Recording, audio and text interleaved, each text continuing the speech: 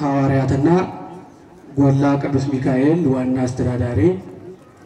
ክቡር መምህራችን ሊቀ ስዩማን መምህር የይስ የዚሁ ቤተ መቅደስ ዋና ጸሐፊ።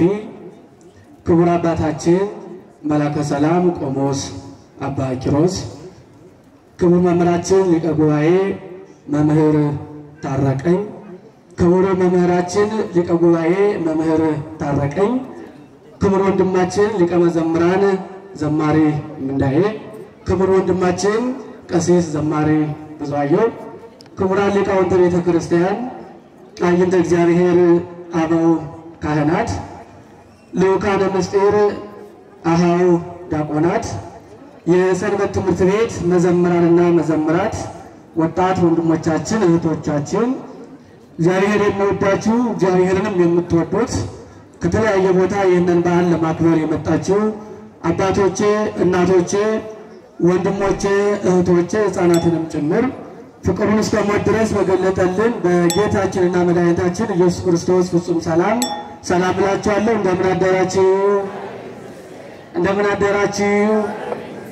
እንደምን አረፈዳችሁ? በሀብቱ ስቦ በረድኤቱ አቅርቦ በዓለ ጰራቅሊጦስን አክብረን እንድንከብር ቅዳሴውንም አስቀድሰን እንድንቀደስ የረዳን የጠራን የፈቀደልን የአባቶቻችን የቅዱሳን አምላክ የእኛም አምላክ ልዑለ ቅዱስ እግዚአብሔር ስለማይነገረው ስጦታው ስሙ በሁላችን አንደበት የተመሰገነ ይሁን።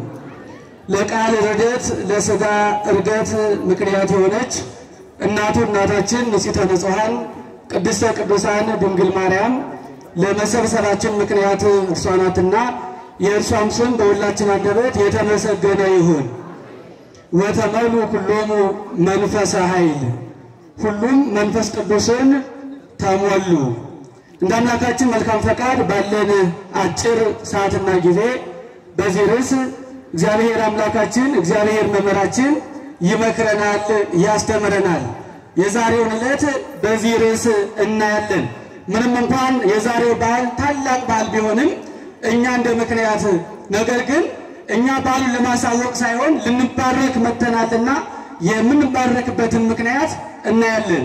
ኃይለ ቃሉን የምናገኘው በሐዋርያት ሥራ ምዕራፍ ሁለት ቁጥር ሶስት ጀምሮ የተቀመጠ የእግዚአብሔር ቃል ነው።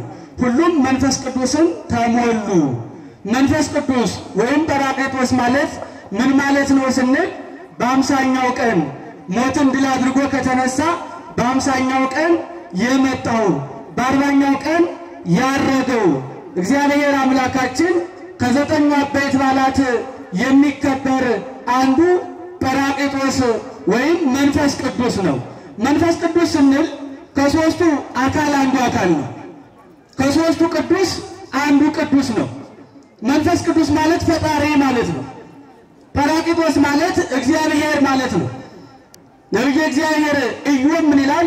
ወመንፈስ እግዚአብሔር ፈጠረኒ፣ የእግዚአብሔር መንፈስ ፈጠረኝ። መጽሐፈ ኢዮብ 33 ቁጥር 4 ላይ የእግዚአብሔር መንፈስ ፈጠረኝ ይላል። ስለዚህ መንፈስ ቅዱስ ጰራቅሊጦስ ማለት ምን ማለት ነው ስንል ፈጣሪ ነው፣ እግዚአብሔር ነው፣ አምላካችን ነው ማለት ነው። እንዲሁም ደግሞ እግዚአብሔር ሰውን ከምድር አፈር አሳምሮ ውብ አድርጎ ፈጥሮ የሕይወት እስትንፋስ እፍ አለበት ተብሎ በኦሪት ዘፍጥረት ምዕራፍ ሁለት ላይ ተጽፏል። ስለዚህ መንፈስ ቅዱስ ፈጣሪያችን ነው። መንፈስ ቅዱስ አምላካችን ነው። መንፈስ ቅዱስ ሕይወታችን ነው። የሰው ሕይወት የክርስቲያን ሕይወት ማን ነው ከተባለ መንፈስ ቅዱስ ነው። እንዳለመታደል ሆኖ ብዙ ጊዜ ስለ መንፈስ ቅዱስ በሚገባ አንረዳም። አንዳንድ ጊዜ የቅዱሳን በዓላት ከባለ መንፈስ ቅዱስ ደምቀው ይከብራሉ። ጥሩ ነው፣ ይክበሩ። በመላእክት ስም ቤተ ክርስቲያን ይሰሩ፣ መልካም ነው። በቅዱሳን ስም አብያተ ክርስቲያናት ይታነጹ፣ ነው። በእናታችን በንጽሕተ ንጹሐን በቅድስተ ቅዱሳን በድንግል ማርያም ስም አብያተ ክርስቲያናት ይታነጹ፣ መልካም ነው። እንደውም በአማኑኤል ስም ቤተ ክርስቲያን አለ፣ መልካም ነው። እግዚአብሔር አብ የሚባል ቤተ ክርስቲያንም አለ፣ መልካም ነው። የመንፈስ ቅዱስ ቤተ ክርስቲያን ግን የለም። እንደውም እንደ አጋጣሚ ሆኖ በአዲስ አበባ ሀገረ ስብከት ብቸኛው ቤተ ክርስቲያን ይሄ ነው። ዛሬ ተባርከናል። እንኳን ደስ አላችሁ፣ እንኳን ደህና መጣችሁ። ከፍ አድርጋችሁ መንፈስ ቅዱስ አመስግኑ። ስራጼን ሐዋርያት ወይም ባለጰራቅሊጦስ ቤተ ክርስቲያን የመጀመሪያው ቤተ ክርስቲያን ይሄ ነው፣ በአዲስ አበባ ሀገረ ስብከት የነበረው። ነገር ግን በዚህ ቤተ ክርስቲያን ይህ ቤተ ክርስቲያን እንደው አባቶችም ታሪኩን ያግዙኛል። የተመሰረተው በሐዋርያት ስም በመንፈስ ቅዱስ ስም ነው። ለብዙ ጊዜያት ቤተ ክርስቲያኑ በመንፈስ ቅዱስ ስም በሐዋርያት ስም ሆኖ ቅዳሴ ይቀደሳል፣ ወንጌል ይሰበካል፣ ሥጋው ደግሞ ይፈተታል። ነገር ግን መጥተው የሚያስቀድሱ ምዕመናን ጠፉ። ባለጰራቅሊጦስን ማክበር አላውቀዋሉ። ብዙ ክርስቲያኖች መንፈስ ቅዱስ የሚውልበትን ዕለት የሐዋርያትን በዓል አላውቅ አልረዳ ብለው እንደው ወንጌልም የሚማር ሲጠፋ ሥጋውን የሚበላ ደሙን የሚጠጣ ሲጠፋ ትምህርት የሚማር ሲጠፋ አባቶቻችን የቀደሙት ካህናት ሊቃውንት እንደው እስቲ ቅዱስ ሚካኤልን እናንጣ ብለው ቅዱስ ሚካኤል ወደዚህ ካቴድራል ገባ። ቅዱስ ሚካኤል ሲመጣ በወርሃዊ በዓል በጣም ብዙ ምዕመናን ተገኙ። የሚገርሙ የጠጠር መጣያ ጠፋ። ወርሃዊ በዓሉ የቅዱስ ሚካኤል ከባለ ጰራቅሊጦስ በለጠ ደመቀ እና አባቶቻችን ምናሉ ጎላ ሚካኤል አሉ። እውነቱም ቅዱስ ሚካኤል እስኪ ሚካኤል መስገኑ ክርስቲያን ጎላ ሚካኤል የተባለበት አባቶች ያስተካክሉኛል። እንደማውቀው ታሪክ እንደዚህ ነውና ከመንፈስ ቅዱስ በዓል ዓመታዊ ክብረ በዓል ይልቅ የቅዱስ ሚካኤል ዓመታዊ ወራዊ በዓል ጎልቶ ብዙ ክርስቲያን ብዙ ሕዝብ ስለመጡ ጎላ ሚካኤል ተባለ። ቅዱስ ሚካኤል ያብዛን። ደግማቸው አመስግኑት። የሚፈለገው መብዛታችን ነው። የሚፈለገው መዳናችን ነው። የሚፈለገው መማራችን ነው። የሚፈለገው ስጋውን መብላታችን፣ ደሙን መጠጣታችን ነው። እንዳጠቃላይ የቤተ ክርስቲያኗ አገልግሎት እኔና እናንተን አማካኝ ያደረገ ነው እንጂ ጎላ ማለት የበቆሎ መቀቀያ እንዳይመስላችሁ ክርስቲያን ስለበዛን ብዙ ሆነን ስለተገኘን ነው። እና በባለ ጰራቅሊጦስ በመንፈስ ቅዱስ ዕለት ሁለት ጥያቄዎች ይነሳሉ። ከምዕመናን ከክርስቲያን የሚነሱ ጥያቄዎች አሉ። እነሱ ጥያቄዎች ምንድን ናቸው የሚለውን አንደኛው ጸሎት ጨርሰን ፈጽመን አሁን ከነገ ጀምሮ ጾመ ሐዋርያት ነው። ጾም አለ። ከአገልግሎቱ ከትምህርቱ ከዝማሬው በስተመጨረሻ ላይ እንደ ቸርነት እንላለን። እንደ ቸርነት ብለን መንፈስ ቅዱስን ጰራቅሊጦስን ላክልን እንላለን። ይህንን ብዙ ሰዎች እንደ ጥያቄ ያዩታል። መንፈስ ቅዱስን ላክልን የምንለው ለሐዋርያት አልወረደም ወይ? ለሐዋርያት የወረደው ለእኛ አልወረደም፣ ለእኛ ወይ ብለው ብዙ ሰዎች ጥያቄ ያነሳሉ። በተደጋጋሚ መምህራን ይጠይቃሉ። አዎ ለሐዋርያት የወረደ መንፈስ ቅዱስ ለእኛም ወርዷል። ለሐዋርያት የተላከ መንፈስ ቅዱስ ለእኛም ተልኳል። ልዩነት ግን አለው። ምንድነው ልዩነቱ? ምንድነው ምክንያቱ? ለሐዋርያት የወረደ መንፈስ ቅዱስ ለሐዋርያት የተላከ መንፈስ ቅዱስ ለእኔና ለእናንተም ለወንዶች በአርባ ቀን ለሴቶች በሰማንያ ቀን ወንዶቹ በጥምቀት ልጅነት እንዲሁም በሜሮን ደግሞ ጸጋ መንፈስ ቅዱስን እናገኛለን ማለት ነው። ስለዚህ ለሐዋርያት የተላከ መንፈስ ቅዱስ ለሐዋርያት የወረደ መንፈስ ቅዱስ ለእኔና ለእናንተም በአርባ ቀን በሰማንያ ቀን ይላካል፣ ይወርዳል። በጥምቀት ልጅነት እናገኛለን። በሜሮን ጸጋ መንፈስ ቅዱስን እናገኛለን። አያችሁ፣ በብሉይ ኪዳን የሚወርደው መንፈስ ቅዱስ መንፈሰ ረድኤት ይባላል። ዛሬ ለአባቶቻችን ሐዋርያት የወረደው መንፈስ ቅዱስ ግን መንፈሰ ልደት የልጅነት መንፈስ ነው። ሲ መንፈስ ቅዱስን አመስግኑት። ልዩነት የለውም ከሐዋርያት አባቶቻችን ጋር። ለሐዋርያት የወረደው ለእኛም ወርደዋል። ለሐዋርያት የተላከው ለእኛም ተልኳል። ሌላው ሁለተኛው ጥያቄ አባቶቻችን ሐዋርያት መንፈስ ቅዱስ ከወረደላቸው በኋላ ሙት ያስነታሉ፣ ድውይ ይፈውሳሉ፣ ልዩ ልዩ ገቢረ ተአምራት ያደርጋሉ፣ ባህር ይከፍላሉ። እኛ ግን መንፈስ ቅዱስ ከወረደልን ለምንድን ነው ልዩ ልዩ ገቢረ ተአምራት የማናደርግ የሚል ጥያቄ ይነሳል። አባቶቻችን ሙት ካስነሱ እኛ ለምን ሙት አናስነሳም? ድውይ ከፈወሱ ለምን ድውይ አንፈውስም? ባህር ከከፈሉ ለምን ባህር አንከፍልም? ለምንድነው ታምር የማናደርገው? ከእነርሱ በምን እንለያለን? አሁ አባቶቻችን ሐዋርያት ልዩ ልዩ ገቢረ ተአምራት አድርገዋል። መልሱ ምንድን ነው? መንፈስ ቅዱስን ጊዜ አልሰጠነውም። ክርስቲያን ለመንፈስ ቅዱስ ምቹ አልሆንም። በእኛ ላይ አድሮ በእኛ መካከል ተገልጦ እንደ አባቶቻችን እንደ ሐዋርያት ሙት እንዳናስነሳ፣ ድውይ እንዳንፈውስ፣ ባህር እንዳንከፍል፣ ልዩ ልዩ ገቢረ ተአምራት እንዳናደርግ የሚገድበን ለመንፈስ ቅዱስ ምቹ ስላልሆን ነው። ለመንፈስ ቅዱስ ጊዜ ስላልሰጠነው ነው። ስላልተዘጋጀን ነው። ሰው ከተዘጋጀ እንደ አባቶቻችን እንደ ሐዋርያት ድውይ መፈወስ ይችላል። ዛሬ ሙት ማስነሳት ይቻላል በመንፈስ ቅዱስ።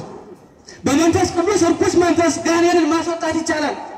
ከኛ የሚጠበቀው መዘጋጀት ነው። ብዙዎቻችን መንፈስ ቅዱስን እንደ እሳት አዳፍነው እንኖራለን። እናቶቻችን ክብሪት ሳይመጣ እሳት አዳፍነው ጠዋት ያን የተዳፈነውን እሳት ጭረው ለልጆቻቸው ምግብ አዘጋጅተው ልጆቻቸውን ያሳድጋሉ። እኛ ግን መንፈስ ቅዱስን አዳፍነነዋል። በተለያየ ምክንያት በስንፍና ንስሐ ባለመግባት፣ ባለማመን፣ ስጋውን ባለመብላት፣ ደሙን ባለመጠጣት፣ መንፈስ ቅዱስን አዳፍነነው እንሆናለን እንጂ አባቶቻችን ስራ የሚያሰራ እኛንም ማሰራት በእኛ ላይም ልዩ ልዩ ገብረ ተአምራት ማድረግ መንፈስ ቅዱስ ይችላል። መንፈስ ቅዱስ በቤተ ክርስቲያን አገልግሎት ልዩ ጊዜ አለው። እናታችን ቅድስት ቤተ ክርስቲያን አገልግሎት በምትሰጥበት ጊዜ የመጀመሪያዋም የመጨረሻዋም ፈቃደ መንፈስ ቅዱስ ነው። ሚመጠን ዛቲ ዕለት ወዕፀብት ዛቲ ሰዓት እንተ ባቲ ወርድ መንፈስ ቅዱስ እምሰማየ ሰማያት።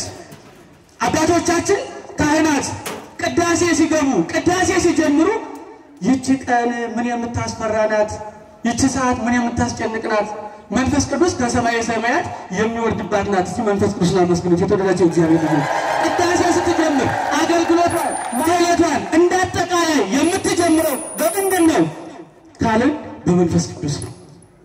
መንፈስ ቅዱስን አስቀድማ መንፈስ ቅዱስን መሪ አጋዥ አድርጋ አገልግሎቷን ትጀምራለች።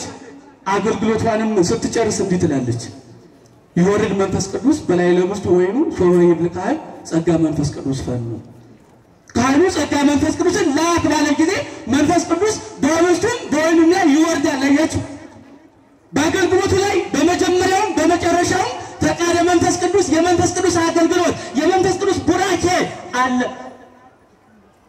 መንፈስ ቅዱስን አባቶቻችን ልዩ ልዩ ትርጓሜ ስያሜ ሰጥተውታል። ምናልባት ትምህርት ስለ መንፈስ ቅዱስ እንማር ነበር። ነገር ግን ነገረ መንፈስ ቅዱስ በዚህ ሰዓት አያልቅም፣ ሰፊ ነው። አጠር አድርገን እንመልከት። መንፈስ ቅዱስ ማለት ናዛዚ ማለት ነው፣ የሚያረጋጋ ማለት ነው። ክርስቲያን የሚያረጋጋ አባቶቻችን ቅዱሳን ሐዋርያት ክርስቶስን ተከትለው ክርስቶስ ከዋለበት እየዋሉ ካደረበት እያደሩ ክርስቶስ ሲሰቀል ሲሞት ሶስት መዓልት ሶስት ሌሊት በከርሰ መቃብር ሲያድር ግን ቤታቸውን ዘጉ፣ ፈሩ። ወደ ኤማሁስ የወረዱ አሉ። ሰባት ሆነው ደግሞ ወደ ጥብርያዶስ አሳ ፍለጋ ይሄዱ አሉ። ሁለት ሆነው ወደ ኤማሁስ፣ ሰባት ሆነው ወደ ጥብርያዶስ። አባቶቻችን ሐዋርያት መረጋጋት አልቻሉም፣ ፈሩ። የሚበላ የሚጠጣ አስፈለጋቸው። ቅዱሳን ሐዋርያት የተረጋጉ በዛሬው ዕለት መንፈስ ቅዱስ ከወረደ በኋላ ነው። ዓለም ላይ ብዙ ጊዜ መረጋጋት አይታይም። የያዝነው ስልክ ያስጨንቀናል፣ ሚዲያችን ያስጨንቀናል። የምናየው የምንሰማው ነገር ፈተና ነው፣ ጭንቀት ነው። መረጋጋት የምንችለው ከክፉ የሚያረጋጋን ግን መንፈስ ቅዱስ ነው። እግዚአብሔር መንፈስ ቅዱስን አመስግኑት ክርስቲያን። አያችሁ፣ ሰው መረጋጋት የሚችለው ዓለም የምትረጋጋው ዓለም ሰላም የምታገኘው ቅዱስ ነው። ሌላው መንፈስ ቅዱስን ከሰዓት ይሉታል ሊቃውንት ምስጢር ገላጭ ማለት ነው። እውቀት ገላጭ፣ ሃይማኖት ገላጭ። አባቶቻችን ሐዋርያት አስራ ሁለት ሆነው ይህንን ዓለም አልጫውን ዓለም በትምህርት አጣፈጡት። እንዴት? መንፈስ ቅዱስ ምስጢር ገልጦላቸው፣ መንፈስ ቅዱስ ቋንቋ ገልጦላቸው፣ መንፈስ ቅዱስ እውቀት ገልጦላቸው፣ መንፈስ ቅዱስ የቱን ሁሉ ሃይማኖት፣ ሂደት፣ ህይወት ገልጦላቸው አባቶቻችን ሐዋርያት በመንፈስ ቅዱስ አልጫውን ዓለም አጣፈጡ። አባቶቻችን ሲያስተምሩ መንፈስ ቅዱስ እየገለጠላቸው ሌላ እንዳይመስላቸው፣ ሲቀድሱ መንፈስ ቅዱስ እየገለጠላቸው ነው። ሲዘምሩ ቅኔ ሲቀኙ ሌሊቱን ሙሉ ትናንትና ቆሞ የሚያድሩት አባቶቻችን መንፈስ ቅዱስ እውቀቱን ምስጢሩን እየገለጠላቸው ነው። ሌላው መንፈስ ቅዱስ መንቄ ይሉታል ሊቃውንት፣ የሚያነቃ የሚያበረታ የሚያጸና ማለት ነው። በማቴዎስ ወንጌል ምዕራፍ 26 ቁጥር 41 ጀምሮ ስንመለከት ጌታችን መድኃኒታችን ኢየሱስ ክርስቶስ በጌቴሴማኒ ጸሎት ጸልዮ ሲመለስ ደቀ መዛሙርቱ እንቅልፍ ጥሏቸው ተኝተው አገኛቸው። ትግቡ ወጸልዩ ከመ ይትባኡ ውስተ መንሱት፣ ወደ ፈተና ወደ መከራ ወደ ችግር እንዳትገቡ ነቅታችሁ ተግታችሁ ጸልዩ። ይህንን ከነገራቸው በኋላ መንፈስ ቅዱስ ከወረደ በኋላ አባቶቻችን ሐዋርያት በጾም በጸሎት በአገልግሎት የነቁ የበረቱ ሆነዋል። መጀመሪያ ግን እንደኛ እንቅልፍ ይጥላቸው ነበር። 24 ሰዓት ማመስገን ማገልገል አይችሉም። ይደክማሉ፣ ይዝላሉ። መንፈስ ቅዱስ ከወረደላቸው በኋላ ግን ጠንካሮች፣ የሚነቁ የሚበረቱ ሆነዋል።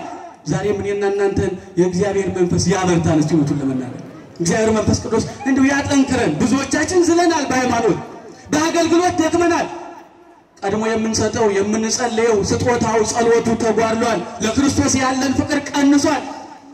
አገልግሎታችንም ቀንሰናል። ለዛ የሚያነቃ የሚያበረታ መንፈስ ቅዱስ ነው። ሶምሶን እናታስታውሱ? የእግዚአብሔር መንፈስ ሶምሶንን ያበረታው ያነቃቃው ነበር። በአህያ መንጋጋ ሺህ ሰው ገደለ፣ ብዙ ገቢረ ተአምራት አደረገ። ለምን? የእግዚአብሔር መንፈስ ቅዱስ ከእርሱ ጋር ስለሆነ። ሌላው የመንፈስ ቅዱስ ትርጓሜ ምንድነው? መጽንዒ ይሉታል ሊቃውንት። የሚያጸና ማለት ነው። የሚያበረታ የሚያጨክን። አባቶቻችን ቅዱሳን ልዩ ልዩ መከራ ይደርስባቸዋል። የተለያየ መከራ፣ የተለያየ ስቃይ የአንዱ መከራ በሰይፍ መቆረጥ ነው። የአንዱ መከራ ወደ እሳት መጣል ነው። የአንዱ አባት መከራ ወደ ባህር መወርወር ነው። የአንዱ አባት መከራ እንደ እህል መፈጨት ነው። በዚህ ሁሉ መከራ፣ በዚህ ሁሉ ስቃይ መንፈስ ቅዱስ ግን ያበረታቸዋል፣ ያጸናቸዋል። አለቃው በኪዳነ በጸሎተ ኪዳን ጊዜ ምን ይላሉ? ነቢያትን በትንቢት ሐዋርያትን በስብከት ሰማዕታትን በደም ጻድቃንን በገዳም ያጸና እኛንም ያጽናል። እስቲ እኛንም ያጽናል ብላችሁ አመስግኑት። ክርስቲያን አባቶቻችን ነቢያትን በትንቢት የሚያጸናው የሚያበረታው መንፈስ ቅዱስ ነው። ሐዋርያትን በስብከት በማስተማር ያለ ዋጋ ያለ ደሞዝ የሚያጸናው መንፈስ ቅዱስ ነው። ሰማዕታት መከራ እንዲቀበሉ ስለ ሃይማኖታቸው፣ ስለ ቤተ ክርስቲያን ደማቸውን እንዲያፈሱ የሚያደርጋቸው መንፈስ ቅዱስ ነው። ጻድቃንን ያለ ሀብት ያለ ንብረት ድምፅ አራዊትን ጸባ አጋንንትን ታግሰው በገዳም እንዲቀመጡ የሚያደርጋቸው የሚያበረታቸው ማን ነው? መንፈስ ቅዱስ ነው። እኛንም በሃይማኖት ያበርታል። ሞቱን ለመናገር በቅዱስ ቤተ ክርስቲያን ያበርታል። በመልካም ስራ ያበርታል። በፍቅር ያበርታል። በይቅርታ ያበርታል። በመልካም አገልግሎት ያበርታል። የመጨረሻው መንፈስ ቅዱስ መስተፍስሒ የሚያስደስት ማለት ነው። የሚያስደስት ደስታ ምንድን ነው? አንዳንድ ጊዜ ደስታ የሚባለው ጥሩ መልበስ ይመስለናል። አንዳንድ ጊዜ ደስታ የሚባለው ጥሩ መብላት መጠጣት ይመስለናል። አንዳንድ ጊዜ ደስታ የሚባለው ጥሩ ቤት መስራት፣ ጥሩ መኪና መንዳት፣ መግዛት፣ ጥሩ ስልጣን መያዝ፣ ጥሩ ስራ መያዝ ይመስለናል። አይደለም። ይሄ አይደለም ደስታ ክርስቲያን። ነቢየ እግዚአብሔር ቅዱስ ዳዊት ኑ ንትፈሳ በእግዚአብሔር ኑ በእግዚአብሔር እንደሰት። አያችሁ ተፈሳይኩ እስመ ቤሉኒ ቤተ እግዚአብሔር ናሁር ወደ እግዚአብሔር ቤት እንሂድ ባሉ ጊዜ ደስ አለኝ። ትልቁ ደስታ በእግዚአብሔር ነው። ተመልከቱ። ትልቁ ደስታ በመንፈስ ቅዱስ ነው። ደስታ ወደ እግዚአብሔር ቤት መሄድ ነው። ነቢየ እግዚአብሔር ቅዱስ ዳዊት ሁሉ በደጁ ሁሉ በእጁ ነው። ንጉሥ ነው። ሀብት አለው። ቤተ መንግሥት ይኖራል። ችግር የለበትም። ግን ደስታዬ የእግዚአብሔርን ቃል መስማት ነው። ወደ እግዚአብሔር ቤት መሄድ ነው። ትምህርቱን መማር ነው። ትንቢት መናገር ነው። መጻሕፍትን መጻፍ ነው። የነቢየ እግዚአብሔር ቅዱስ ዳዊት ደስታው አገልግሎት፣ ዝማሬ፣ ትንቢት የእናታችን የንጽሕተ ንጹሐን የቅድስተ ቅዱሳን የድንግል ማርያም ደስታ ምንድን ነው ካላችሁ የኔና የእናንተ የክርስቲያኖች መዳን የእኛ መዳን የእኛ ንስሐ መግባት። የሞተችው እኮ በሲኦል ያሉትን ነፍሳትን አይታ ነው። ልብ በሉ። በሲኦል ያሉ ነፍሳት ከወጡ አለው። የእኛ መዳን፣ የእኛ መቁረብ፣ የእኛ መማር፣ የእኛ ንስሐ መግባት ለድንግል ማርያም ደስታ ነው። በዓለሙ መላእክት አንድ ኃጢአተኛ ንስሐ ሲገባ ደስታ ይሆናል። ትልቁ ደስታ በዳዊት ዘንድ የእግዚአብሔርን ቃል መስማት ነው። በእናታችን በድንግል ማርያም ዘንድ የኔና የእናንተ መዳን ነው። እንዲሁም በመላእክት ዘንድ የእኛ ንስሐ መግባት ነው። ስለዚህ ደስታ ማለት ትልቁ ደስታ ምንድን ነው? መማር ነው። የዛሬውን በዓል ማክበር ነው። እንኳን ደስ አላችሁ ክርስቲያን። የዛሬውን በዓል ማክበር ትልቅ ደስታ ነው። ትልቅ ቡራኬ ነው። ስጋውን መብላት፣ ደሙን መጠጣት፣ በቤተ መቅደሱ መኖር ይሄ ነው የዘላለም ደስታ። በዓለ ጴንጠቆስቴ ከተፈጸመ በኋላ ወንዝ አለው ህብረ ኩሎ ማደኔ ሁሉም በአንድነት ተሰብስበው እንደ አንድ ቃል ተናጋሪ እንደ አንድ ልብ መካሪ ሆነው ባሉበት ሰዓት መንፈስ ቅዱስ ወመጻ ግብተም ሰማይ ድምፅ ከመ ድምፀ ነፋስ አውሎ እንዳውሎ ነፋስ ያለ ድምፅ ከሰማይ መጣ። በዛሬው ዕለት ከሰማይ መጥቶ በአንድነት በተቀመጡበት ላይ በእነሱ ላይ ተቀመጠ። ወተመሉ ሁሉም መንፈሳዊ ሁሉም መንፈስ ቅዱስን ተመሉ። ህብረት፣ አንድነት መንፈስ ቅዱስን እንዲመጣ ያደርጋል። ሰው በህብረት በአንድነት በንጽህና በቅድስና ከኖረ የእግዚአብሔር መንፈስ ከእርሱ ጋር ይሆናል። እግዚአብሔር ይባርከዋል። እግዚአብሔር ከእኛ ጋር ይሆናል። ሰው ከተለያየ በልዩ ልዩ ሀሳብ ቋንቋ ከኖረ ሰይጣን እንጂ መንፈስ ቅዱስ አይቀርብም። በህብረት ኖረን እግዚአብሔር ከኛ ጋር እንደሆነ የአምላካችን መልካም ፈቃድ ይሁን። አባቶቻችን ሐዋርያት በህብረት ኖረው መንፈስ ቅዱስ ወረደላቸው። ከእነሱ ቋንቋ ውጭ ሰባ አንድ ቋንቋ ተገለጠላቸው። ሰባ ሁለት ቋንቋ አውቀው የሚፈሩት ቀድሞ ይፈሩ የነበሩት ቀድሞ ይጠራጠሩ የነበሩት ቀድሞ ወደ ሰፈር ሊመለሱ የነበሩት አሁን ጨካኞች ጥቦች ሆነው ወንጌልን ማስተማር ክርስቶስን ማገልገል ጀመሩ። በአንድ ቀን ትምህርት ቅዱስ ጴጥሮስ ሶስት ሺህ ሰዎች አጠመቀ። የሚገርማቸው አስቀድሞ ቅዱስ ጴጥሮስ አንድ ሴት አንተ የክርስቶስ ደቀ መዝሙር ነህ፣ ክርስቶስን ታውቀዋለህ ወይ ስትለው በፍጹም የምትይውን ሰው አላውቀውም። አስቀድሞ እኮ ሁሉም ቢክዱ እኔ አልክድህም ብሎ ነበር። ሁሉም ቢተውህ እኔ አልተውም ብሎ ነበር። ይህንን ቃል በተናገረበት በአንድ ሴት ምክንያት ሶስት ጊዜ ክርስቶስን የካደ ቅዱስ ጴጥሮስ የቅዱስ ጴጥሮስ ሕይወት ተስተካክሎ ሶስት ሺህ ሰዎች ያጠመቀ ክርስቶስን አመስግኑት ክርስቲያን። ሶስት ሺህ ሰዎች ያጠመቀ ቅዱስ ጴጥሮስ መንፈስ ቅዱስ ከወረደ በኋላ ሁሉም በረቱ፣ ሁሉም አስተማሪዎች ሆኑ። በየሀገሩ ሁሉ እየተዘዋወሩ አስተማሩ። እንዲያውም ክርስቶስ በእኔ የሚያምን እኔ የምሰራውን ይሰራል ከኔ በላይም የበለጠ ይሰራል ብሎ በወንጌል አስተምሯል። ክርስቶስ በሰላሳ ሦስት ዓመቱ መቶ ቤተሰብ ጠራ፣ ሰበሰበ። ቅዱስ ጴጥሮስ ግን በአንድ ቀን ትምህርት ሰዎች ሺህ ሰው ወረ ክርስቶስን አመስግኑት የሰጠናል። መንፈስ ቅዱስ ከተዘጋጀን ከተስተካከል ዛሬም ነገም ልዩ ልዩ ስራ ያሰራል። የተጠመቁ ያመኑ ሰዎች ምን እናድርግ? ምን እንስራ አሉ። ቅዱስ ጴጥሮስ ተጠመቁ፣ ንስሐ ግቡ አላቸው። እንግዲህ መንፈስ ቅዱስ ወርዷል። ለሐዋርያት የወረደ ለእኛም ሐዋርያትን የባረከ እኛም ባርኳል። ምን እንስራ? ምን እናድርግ ማለት ያስፈልጋል። እነሱ ንስሐ ገቡ፣ ስጋውን በሉ፣ ደሙን ጠጡ። እኔና እናንተም የክርስትና ማሰሪያው ስጋውን መብላት፣ ደሙን መጠጣት ነው። አባቶቻችን የባረከ እኛንም የባርከን ለዛሬ ዓመት በሰላም ያደርሰን ይቆየን።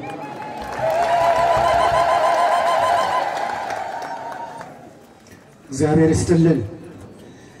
ቃለ ሕይወትን ያሰማልን። ቃለ ሕይወት ያሰማልን። ወንድማችን መጋቢ ሐዲስ ዘላለም የደብረ ምሕረት ቅዱስ ሚካኤል መምህር ናቸው። በእውነት በድጋሚ ላለው ቃለ ሕይወት ያሰማልን። ዝማሬ መላእክትን ያሰማልን።